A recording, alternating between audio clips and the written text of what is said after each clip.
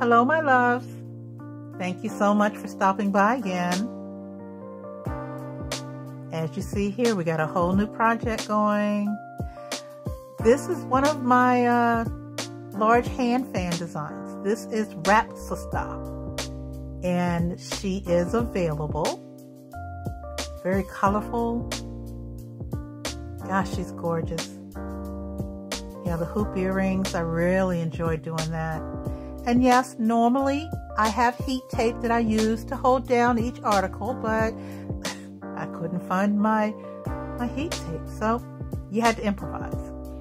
But anyway, she still looks gorgeous. Oh my gosh. She makes a statement, definitely. She is available for sale on my website. So be sure to check out my website at www.iwsdecor.com.